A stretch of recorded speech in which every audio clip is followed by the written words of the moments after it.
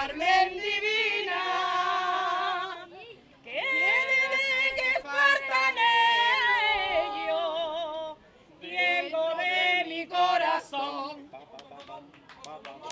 llevo clavada esta espina.